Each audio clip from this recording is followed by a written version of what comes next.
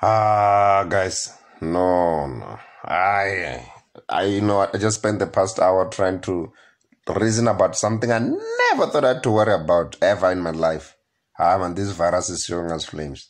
Somebody is asking, what about our dogs? What's gonna happen during the lockdown? Can't we walk our dogs? Yeah, dogs. Dog. Dog.